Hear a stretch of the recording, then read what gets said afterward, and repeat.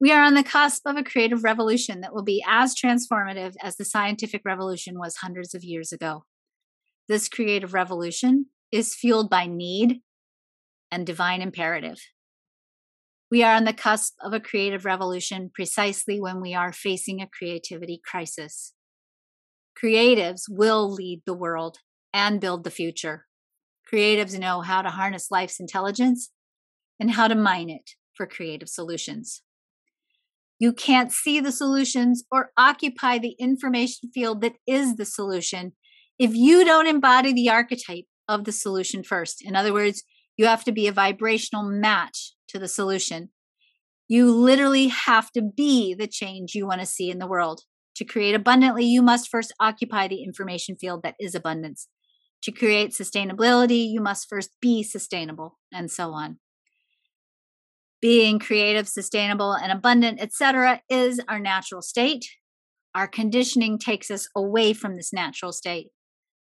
To become fundamentally creative, deliberate, you have to decondition your situationally creative response. In other words, you have to stop becoming reactive and move towards an intentional goal with clarity and deliberate action.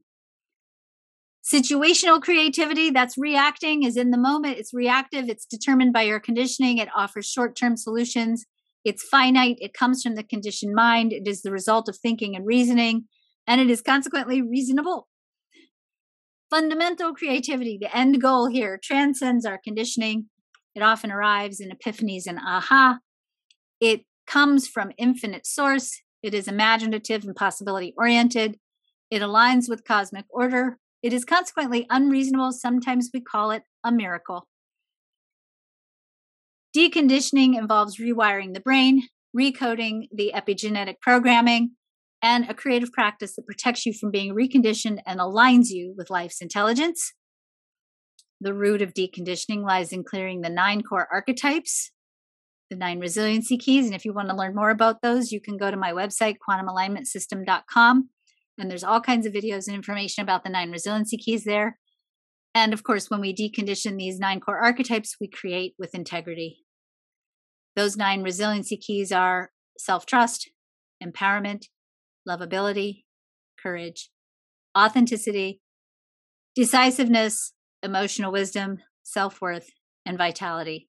And of course, we talked about this already when we are deconditioned, we create with integrity, meaning we're in physical integrity, resource integrity, identity integrity, moral integrity, and energetic integrity.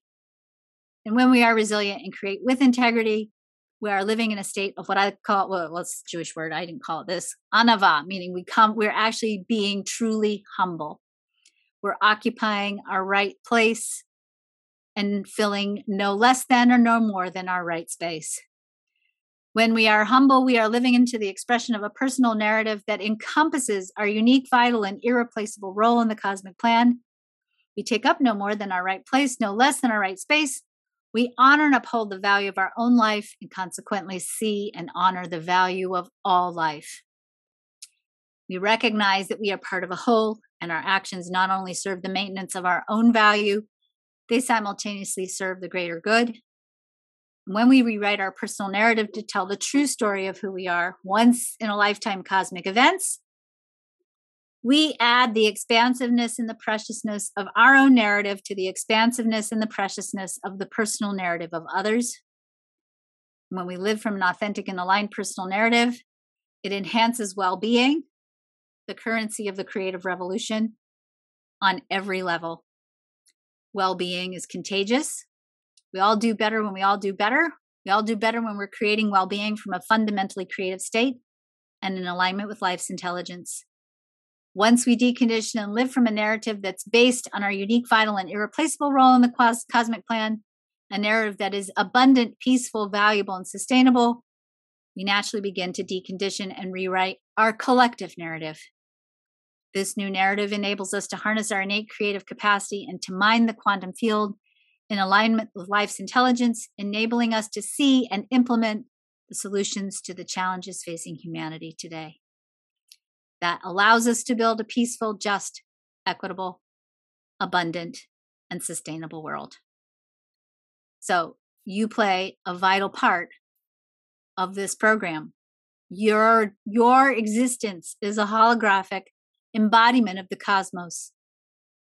And you have a unique and vital and irreplaceable role to play in creating the change necessary to truly live and build a quantum economy, an economy that's rooted in the idea that you are enough, everyone is enough, because we are enough, we have enough.